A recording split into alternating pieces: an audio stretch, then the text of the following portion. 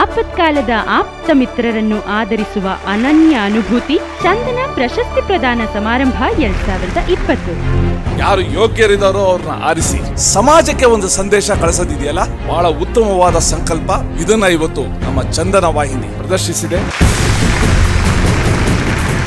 ಚಂದನ ವಾಹಿನಿ ಮೊದಲಿಂದಲೂ ಅಚ್ಚುಕಟ್ಟುತನ ಆ ಶಿಸ್ತು ಮೊದಲಿಂದಲೂ ಹೀಗೆ ಇದೆ. ದೂರದರ್ಶನ ಸಂಸ್ಥಾಪನಾ ದಿನ ನವೆಂಬರ್ ಹತ್ತೊಂಬತ್ತು ರಾತ್ರಿ ಏಳು ಮೂವತ್ತಕ್ಕೆ. ಮರುಪ್ರಸಾರ ಶನಿವಾರ ನವೆಂಬರ್ ಇಪ್ಪತ್ತೊಂದು ಬೆಳಿಗ್ಗೆ ಒಂಬತ್ತಕ್ಕೆ.